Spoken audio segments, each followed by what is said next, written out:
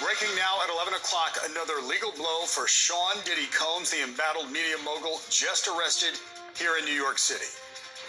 The details are just coming in as we speak at 11. Good evening, I'm David Ushery. Natalie has the night off. We know tonight's arrest follows an indictment handed up by a grand jury. Our chief investigative reporter, Jonathan Dienst has been on the phone with his sources. He's in the newsroom now with what he's learning at this hour. Jonathan? David, Sean Diddy Combs' arrest announced by his defense attorney